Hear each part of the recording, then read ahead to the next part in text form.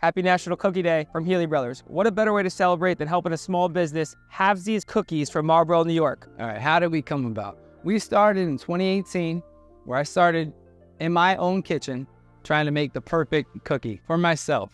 People kept asking me, where can we buy them? Where can we buy them? I'm like, they're not for sale. But that planted that seed.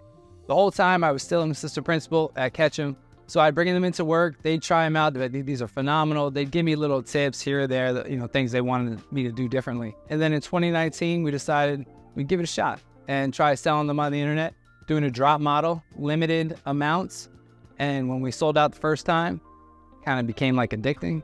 And then we, we did it again. And then I was like, we need a bigger kitchen. And we did bigger drops, still sold out. So I decided to build my own. So here we are, Halfsies Cookie Company.